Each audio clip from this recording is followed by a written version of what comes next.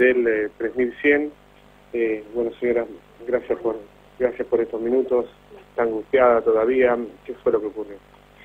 Bueno, mira, nosotros estábamos durmiendo con mi hija en mi casa y mm, ella tiene su pieza, pero estaba durmiendo conmigo en mi pieza. Agradezco también que estaba durmiendo conmigo en mi pieza, estábamos con el aire y el aire mío da hace mucho ruido, ¿viste? No no no puedes escuchar las cosas que los ruidos de afuera. Y por ahí escucho un ruido, esto habrá sido perdí medio la noción del, del, de las horas, del tiempo, pero habrá sido a las 7 de la mañana después sacando conclusiones con la policía, a la hora de llamada de la policía y todo esto habrá sido a las 7 de la mañana. Escucho ruidos en la cocina, voy hacia el comedor pensando que era mi gato, mi perro que estaban haciendo ruido, abro la puerta y me lo encuentro al ladrón de frente, eh, cara a cara, cara a cara. Bueno, eh, empecé a llorar, a gritar, me retrocedí, me fui a la pieza, me siento en la cama, la agarro a mi hija, la abrazo, la desperté ahí, la agarré, la abracé y él viene, viene a la pieza siempre con un cuchillo en la mano, que es una cuchilla mía de la cocina, Tomó una cuchilla que es tomó una cuchilla de la cocina. Eh, nunca poniéndomela en la cara ni amenazándome, sino él la tenía encima, así como en la mano, como que tenía una cuchilla. Eh, pero que él no venía a hacerle daño a nadie, que, que él venía solamente por la plata, que le dé la plata, que había batida, que había plata. Le digo, yo no tengo plata, le digo, mirá, me levanto, le digo, mirá, acá está el cajón. Eh, abrí un cajón que tenía una billetera con dos mil pesos, que era lo único que tenía, lo único que tenía. Le digo, y hay unas monedas más, un- una plata más mi billetera que está en la, en la en el comedor, eh, en la cartera. Le digo, saca la billetera. Ya la saqué, ya la saqué, ya me, ya me agarré un montón de cosas. Yo vengo a solamente a robar, a robar, no vengo a hacer nada. Digo, por favor, llévate todo, todo, absolutamente todo. Yo te voy a ayudar a armar todo, le digo, pero no nos hagas mal, no nos hagas mal. No, si yo no le voy a hacer mal, no le voy a hacer ¿Cuánto mal. tiempo estuvo el ladrón en tu casa? Aproximadamente una hora. Una hora. Plena luz del día. Sí, siete, siete y media de la mañana. Eh, bueno, así yo sentada en la cama sin hablar, con ella sentada abrazada, no, no hablaba, no nada, lloraba nomás, pero no gritaba, no le decía nada. Él iba y venía por la casa, seguía juntando cosas, me pidió un bolso, le alcancé la valija, eh, así que llenó la valija y llenó una mochila de mi hija de la escuela, de cosas, ¿Qué se llevó? eh, una notebook, eh, los dos tres teléfonos, eh, una tablet, eh, planchitas del pelo, jo- joyas así tipo plata y oro, pero esas de plata y oro. No sé qué más decirte, porque ahora tengo que ver todavía qué, qué, qué hay, qué, qué robó, qué plata, y plata en efectivo, que, que habrá sido cinco mil pesos en total, porque tenía, mira, hasta reales tenía, que lo llevó, viste qué sé yo, reales tenía, me habían Sí. quedado. Y, y bueno, nada, este, después él andaba como nervioso, pero tranquilo a la vez para sacar cosas, juntar cosas, ¿viste? Este, y después me decía que acá abajo de mi casa había uno esperándolo y que arriba en el patio había otro esperándolo, que si yo gritaba, ellos sabían qué hacer. Eh, y le digo a mi hija, me parece que está solo, porque mi perrita si no gritaría si ve a alguien en el patio y no gritaba, gritaba solamente cuando él salía al patio. Entonces se ve que estaba solo, pero me estaba como eh, diciendo que si yo me movía iba a ser peor, Me amenazaba. me amenazaba. Y que tenía un arma, pero que no la sacaba porque no venía a matar, venía a robar nomás. Así que con el cuchillo le servía. ¿Estaba muy tranquilo? ¿Crees que estaba bajo efecto de la droga o el alcohol? no sé, mira, yo eh, en un momento traté de, ver si yo digo si está drogado, si no, porque eh, tenía los ojos un poquito colorados, pero no sé. Al margen, estaba cara mañana, Estaba cara descubierta, con un gorrito, nada, Una persona joven. joven, joven, flaquito. Y nada, eh, lo peor del caso fue que después, bueno, en un momento termina de juntar todo y me dice que llama un taxi. Le llama un taxi, me agarra mi teléfono, me pide que yo le marque el taxi, él habla y pide el taxi, se equivocaba de número de la casa y yo le iba diciendo el número de la casa porque él lo iba diciendo mal. Y cuando termina de hablar me pide que a mi hija y a mí que le desbloqueemos los celulares, que le saquemos el bloqueo, los apagó, vino para acá abajo, eh, el taxi tocó bocina y él se subió con una llave y se subió y se fue. Salió de tu casa como si Salió fuera de pro. mi casa con una valija llena de cosas y una mochila y se subió un taxi y se fue. Me dijo que nos quedemos un- una hora metidas en la pieza, que no encontró llaves de la pieza, porque yo no tengo llave de la pieza, así que nos dijo, se quedan una hora metidas acá en la pieza. ¿Alguien, algún vecino pudo tomar el número de taxi, el número de Eh, chapa? No, no, un, ve- un vecino de acá al lado que yo es el que salía a pedir auxilio, porque decí que yo tenía dos llaves de la casa, porque él se llevó el manojo de llave. Este, yo tenía otra llave, así que salí enseguida. Dejé media hora pasar por miedo, pero yo sabía que no había otro más, porque aparte no escuchaba más ruido. Eh, esperé igual media hora, bajé y fui a un auxilio de un, de un este, vecino que está acá, que él sintió los ruidos, pero que me dice, yo qué sé, si están construyendo, si están arreglando algo. Se sintió ruido de golpes, porque él cuando tiraba las cosas hacía ruido. Me trató de sacar un plasma, un televisor de la... Sí, que de está colgado a la pared y no pudo. el. Ahora, eh, ¿cómo se siente usted? No. No, no, es terrible. Es terrible, es una mezcla de, de todo. De agradecimiento porque la estoy contando y no me hicieron nada. Yo en todo momento le decía, no me hagas nada, por favor, te lo pido, no nos hagas nada. Eh, de agradecimiento de tener a mi hija y yo y estar bien y la impotencia de como que uno termina diciendo, bueno, menos mal, deja, menos mal que se llevaron todo y, y ¿por qué uno tiene que agradecer que se llevan tus cosas? Y ¿Qué no van qué van a hacer de todo? No, no. No sé, yo vivir acá no quiero vivir más, me voy a mudar, no sé. No sé, porque no es la primera vez que pasa, porque ya lo veníamos viendo en el barrio, que robaron y, y le entraron, porque ya no son solamente robos, son entraderas, te, te, te meten en una pieza, te encierran, y con mucha suerte salís ilesa como nosotros. Pero eh, es terrible, no es, es terrible. Yo me voy, me, me voy, me voy, me- calculo que me voy a mudar, no sé, no sé, no sé qué voy. Ahora estoy como boleada, pero Luis, eh, ¿queda alguna pregunta de estudios? Sí, sí, quiero eh, charlar. Este, eh, Hola. señora, señora Luis Vino, eh, hola, buen No. día, Luis. no, no, no, no, no, lo que termino de escuchar es terrible. A ver, Terrible, sí. a ver, a ver, a ver, Te escucho, te escucho muy mal. a ver, vamos a levantar el... Ahí, ahí, me- ahí me debe escuchar mucho mejor, ahí me debe escuchar mejor. Ahí te mejor, sí. Eh, la verdad, la verdad, eh, es patético pensar que vivimos una sociedad donde estamos expuestos de tal manera que este tarado, esta lacra, hubiera podido tranquilamente, después de haber robado todo, haberse ido a la habitación y haberla ultrajado a usted, además, haber abusado de su hija, porque si quería lo hacía, con un cuchillo, con un cuchillo que tenía, podía haber llegado a avanzar hasta en ese punto. Eh, no, no, no quiero ni pensar de haberle quitado la vida, porque esta, esta persona hubiera hecho cualquier cosa realmente. Ahora-. Digo, eh, tomemos algunas puntas. ¿A qué eh, radiotaxi o taxi o remis llamó?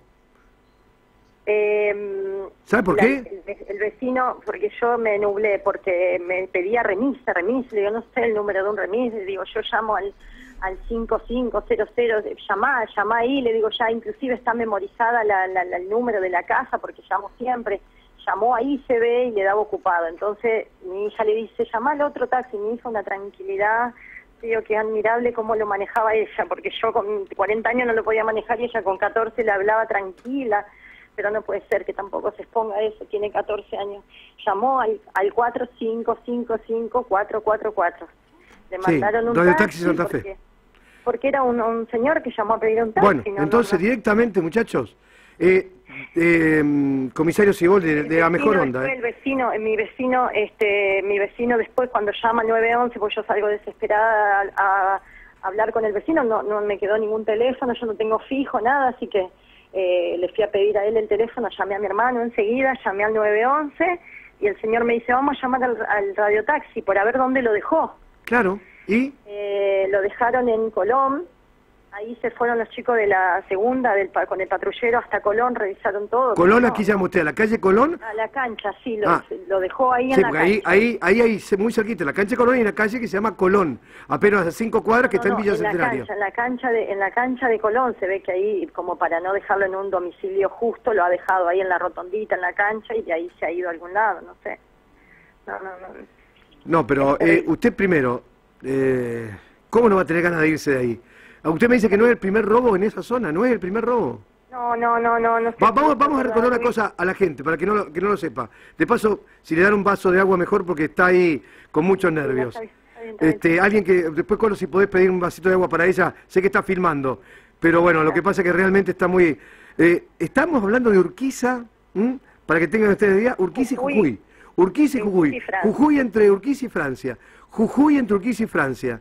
Estamos en Barrio Sur, un lugar de paso permanente, pero con, con, con esta, esta cantidad de robos que usted me dice que son permanentes Sí, en la sí, calle. eh, no sé si usted se acuerda de eh, en Entre Ríos al 32, que también era una entradera, que estaban los albañiles y entraron, la, la, Sí, a la señora en el baño. Bueno, sí, sí. Urquiza, después acá en Jujuy, en la otra cuadra, al 30, también robaron, entradera. Eh, está, el sur está muy, es terrible, no sé, no sé cómo explicarte, pero está, no sé, el barrio seguro, hermoso que fue siempre, no, no, no, no. Y yo tengo reja por todos lados, pensé que la casa era re segura, es chiquita, es- tiene reja por donde vos miras. Pero bueno, cortaron la reja, evidentemente hasta eso. Pero esas, esas rejas reja- dan, dan a, a la vereda de, de Jujuy. la reja que rompieron da a, a- a un patio interno, que es de mis vecinos de abajo, que no estaban en ese momento, y, y el fondo de mi casa, que es por donde parece que entraron, que lo que me decía la policía científica, es el fondo del colegio San Cayetano. Es el, el fondo, sería. Ahora, pero entonces hicieron toda una inteligencia para llegar a su casa. Debo Sí, pensar que conocen primero eh, a dónde a dónde entraban y segundo quiénes estaban en casa. ¿Usted eh, tiene familia, tiene esposo? Mirá, Pregunto. ¿eh? Nosotros estamos nosotras dos solas. Ajá, nosotras bueno, dos solas. entonces hicieron eso inteligencia. también me deja con miedo de que No, no, y- iban a volver. Entonces hicieron inteligencia, señora. Saben claramente que viven ustedes dos solas. Claramente lo chico- saben. El chico, mi vecino, me dice que él lo vio, que por ahí la policía nos dice que eso es un error, que tendríamos que haber llamado temprano. El vecino de lado que venía de trabajar eh, lo vio sentado en la puerta de mi otro vecino, vio un chico flaquito sentado en el piso, en la puerta, en la mañana a las 6 de la mañana. Cuando mi vecino le pregunta, flaco, ¿qué hace ahí sentado? No, no, estoy esperando que me pasen a buscar por, por, por acá porque estoy albañil. Y bueno, y quedó ahí y quedó ahí. Se ve que ese era el chico que después me entró. El vecino salió un par de veces a ver si estaba y se ve que ya no estaba más cuando salió mi vecino, pero ya bueno, estaba dentro de mi casa. Ahí ya a esta altura estaba dentro de mi casa. Eh, hace cinco años atrás, seis, no, no, no, no, no creo que lleguemos a, a cuatro o cinco años, a un señor en Necochea y Alem, Necochea y Alem, un- una madrugada de sábado, le entraron y cuando llegó con su familia eh, se encontró con toda la todos los, los delincuentes dentro de la casa. Esa persona dijo, no vivo más acá, me voy. Y se fue de la casa. Se fue de la casa porque no soportó el ultraje, porque, a ver, ¿cuál es la- la- la- el, el- el- el de esta noche? Usted cuando esta noche cierra las puertas, ¿en qué va a pensar? ¿Qué No, seguridad no. le da el Estado? ¿Qué seguridad le da la realidad de esta ciudad donde cada vez más hay asaltos en los domicilios? Ya, insisto, estar afuera en la calle, es, estar en la calle es mucho mejor que estar dentro de la casa. Porque ¿qué les da a ellos? también con la policía, que uno por ahí decía, bueno, vuelvo a mi casa y estoy segura. Eh, cuando llegabas a tu casa era un alivio, pero no, ahora no. ¿No sabes qué pasa? ahora. El tema es ahora sí. En la calle están expuestos. Los ladrones ahora dentro de la casa, está todo cerrado, ¿y qué hacen? Tienen una media hora, dos horas para hacer lo que quieren. Entonces es más peligroso ahora estar en la casa que estar afuera, que estar afuera. Eh, es una cosa increíble lo que está pasando. ¿Qué, qué- se qué te cosa? pasan miles de cosas por la cabeza. La verdad que es una situación horrible porque la verdad que como yo te decía, es agradecer ver a mi hija ahora y agradecer que no nos hizo nada. Y, eh, ya las, las cosas que se llevó, la verdad que me, me cuestan mucho sacrificio porque laburo terriblemente para ganármelas, pero digo, bueno, no me importan porque estamos sanas. Pero uno no puede quedarse ahí, viste, con que agradezco que no me mataron, porque no es así. No me tienen que entrar directamente, ese es el tema. Esa es la verdad. El Estado les tiene que dar seguridad para vivir en su casa, por la cual paga impuestos, por la cual cumple con todo lo que le pide el Estado, la seguridad que no tiene. Ahora, digo, si lo bajaron en Cancha Colón, hay cámaras alrededor. Muchachos, pónganse a laburar. De verdad, de onda, ¿eh? De onda. Y no va dirigido hacia cualquiera, ¿eh? Va dirigido hacia la parte superior. Pónganse a trabajar. No estoy hablando del comisario, de... no, vamos arriba.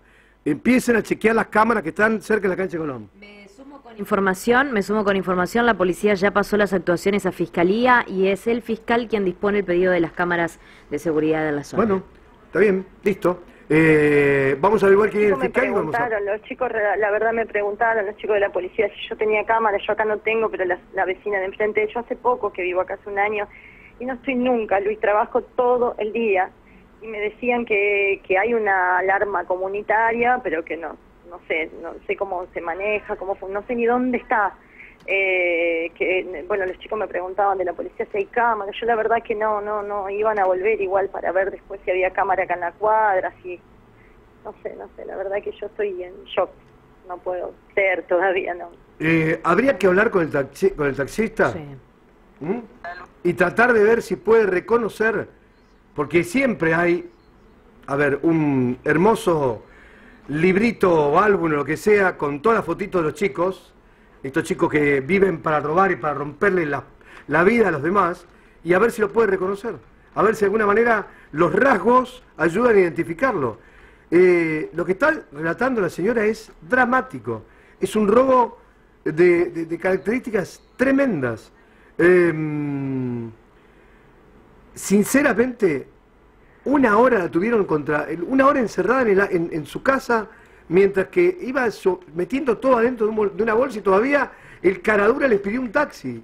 El caradura les pidió un taxi. No, es terrible, es terrible, es todo, es todo, es bizarro, es, no, lo que estoy pidiendo es al fiscal que, le- que hoy le dé hoy le dé una cobertura de, de una guardia de seguridad, que hoy tenga por lo menos alguien de la policía que cuide de esta señora por lo menos estos cuatro o cinco días primeros, para darle tranquilidad.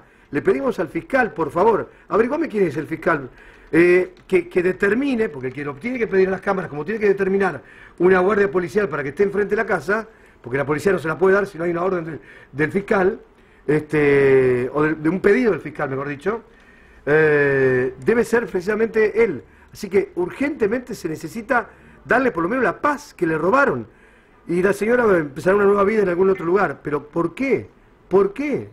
Ahora, si lo encuentran, la pregunta es, cuando lo encuentren, eh, ¿hubo, hubo, ¿hubo heridas? ¿Hubo esto o el otro? ¿Tendrá todos los elementos la justicia para poder detenerlo? Porque ya veo que no cumplió algunas exigencias para poder darle más de tres años y entonces es una pena inferior a los dos, por el artículo 219, inferior a los tres años y este chico está de vuelta robando en la calle. ¿Qué edad tenía aproximadamente?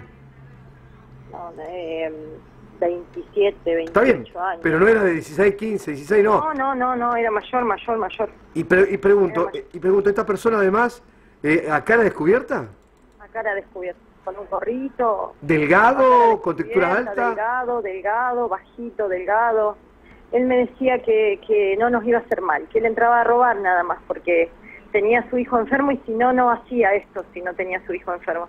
Le digo, flaco, hay otros, bueno, yo, viste, tratando de, de, de decirle que hay otros caminos, que no es este que no es esto, no es así. No es así, pero imagínate que yo en ese momento uno entra a decir cualquier cosa, lo que, que se te viene a la cabeza, mi hija que me tocaba, que no dijera más nada, que no hablara, que no...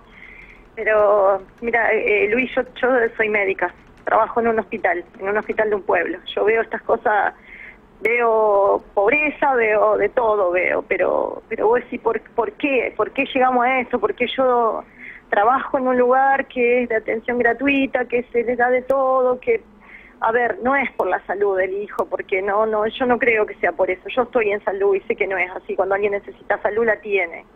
¿Entendés? No, no, no, no, no se justifica nada, eh, dañarle la vida al otro, no, no, no, como que la vida del otro no vale nada, ¿me entendés? No, no, no sé Em, qué. No, y, no. y lo que más La pienso es que nadie va a darle una contención. A ver, me imagino que debe estar saliendo ya un grupo de personas para de derechos humanos para darle contención, porque si estaría detenido seguramente hubieran ido rápidamente a saber a saber las condiciones en que está detenido este ladrón, porque esto me pasa siempre. Ustedes quedan primero con- sin nada de lo que le robaron y además sin que nadie los los contenga. Usted está con, con- con Bruno ahí enfrente y sin siquiera poder contar más que su angustia y al mismo tiempo diciendo me voy de esta casa, me voy y agradezco a la vida que no nos mataron, que no nos violaron y me voy, me voy. Y está y no sé si esta noche va a tener alguien que esté un móvil policial frente a su casa para darle mínimamente lo que no le dieron, mínimamente lo que no le dieron.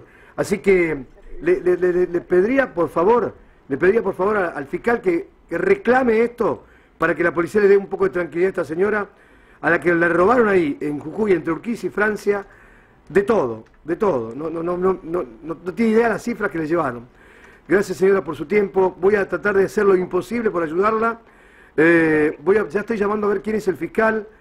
Em, gracias, muchas gracias. Y, Es, es, terrible que, que, vivamos así, ¿no? ¿no? Viste, por ahí uno, como todo en la vida, piensa, y si me toca a mí, si me toca a mí, pero nunca tomas la dimensión hasta que no te toca, ¿viste? Cuando te toca es terrible, es terrible, terrible porque eh, es, te sentís violada de todas maneras, de, tu casa, de tus cosas, de, te tiraron la ropa, te tocaron la ropa de tu nena, me preguntó cuántos años tenía la nena y yo ya me, me, entré a descomponer porque cuando me preguntó cuántos años tiene, eh, viste, ya, ya me puse nerviosa y la tapaba, y pero no, se iba y lo que él quería era robar. Pero usted se imagina, señora, si con ese cuchillo que tenía en la mano, porque el, el cuchillo estuvo todo el tiempo. Sí, sí, sí. Si ese, con ese cuchillo... inclusive, dejó todo, porque dejó en la escalera, dejó el cuchillo, dejó la lima con la que limó la reja. Bueno, muchachos de la PDI, tienen las marcas de...? No, ya, ya vinieron los chicos, tomaron huella de todo y todo, pero el vago como si nada y dejó desprolijo, qué sé yo, a mi vista desprolijo, tomarse un taxi, salir por la puerta principal. Eso se llama impunidad. Muy loco, muy... Impunidad, impunidad, absolutamente impunidad. Eh, también, también también usted le vio el rostro y de la policía se tiene que estar trabajando urgentemente en tratar de identificarlo. El, tachero también le vio el rostro, es decir, eh, pero el tema es cómo queda expuesta la señora si este tipo queda libre. ¿Cómo queda? Porque acá la, el tema es que la justicia no te asegura que vaya preso. Con las leyes que tenemos, las leyes garantistas, este, acá no se reformaron para que este tipo de ladrones paguen.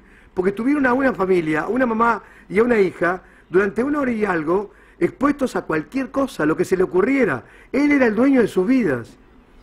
Sí, es terrible lo que voy a decir. Es, el mañana. ¿Cómo hago mañana, esta tarde, esta noche? ¿Cómo hago? Porque es volver a salir a la calle.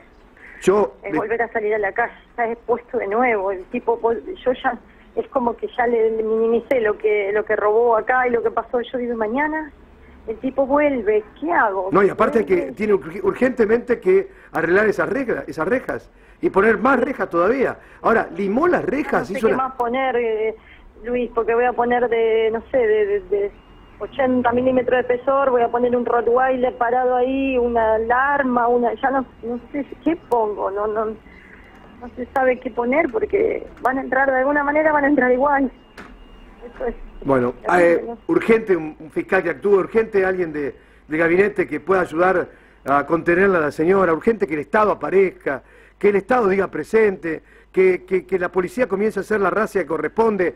Muchachos, no hay mucho que buscar ahí en Villa Centenario, sabemos dónde es, sabemos quiénes son, hay que ir a fondo nada más, pero no es culpa de los comisarios, eh, perdón, de, de, de los policías, de comisarios para arriba, necesito que actúen, que actúen, que le devuelvan a esta ciudad, ministro para abajo, eh, jefe de unidad regional para abajo, hablo de los funcionarios, no hablo del policía que tiene que cumplir órdenes que le llegan. Sí, sí los chicos tuvieron dos segundos, llamamos a la policía y en dos minutos estuvo acá, eso yo no, se quedaron acá conmigo todo el tiempo, eso no puedo una, decir nada. Una, cuestión... Estuvo muy bien la policía en el momento, pero claro, sí. esto me parece que es, como vos decías, más arriba. Es, más arriba, no son los chicos. Agarrarlo y ¿qué hacemos con ese hombre? una, una pregunta, ¿se llevó el juego de llaves de la puerta de ingreso a la casa? Sí, ya ahora el cerrajero está cambiando la cerradura. Dios sí, se llevó un, un juego, un juego de llaves.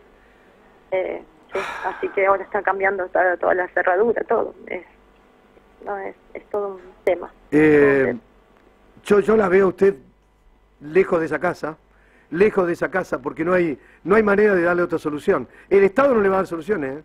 no le va a dar soluciones, señora. La verdad que la veo lejos de esa casa y, y, y, y ¿por qué? Me pregunto, ¿y por qué? ¿Qué hizo ella que trabaja, que viaja todos los días, que mantiene su hija, que lucha por, porque, para que su hija crezca feliz, que quiere un futuro para ella. ¿Qué hizo ella para que, para que este país, para que esta ciudad le regale lo que le está regalando? Inadmisible. Imposible de, definir lo que le pasó. Eh, un beso grandote, ya me estoy hablando con Fiscalía para que por lo menos le den este, un resguardo por estas próximas noches para que duerma más tranquila. Muchas gracias, Luis. Muy amable. Se lo merece, señora. Gracias. Hasta luego. Tremenda nota, tremenda, tristísima nota. Eh, tristísima nota. Y las repercusiones que no, no paran de llegar con un montón de mensajes que no solo hablan de Barrio Sur. Escuchamos a otro oyente. Equipo, con el tema de los robos que están dando ahora la nota esta,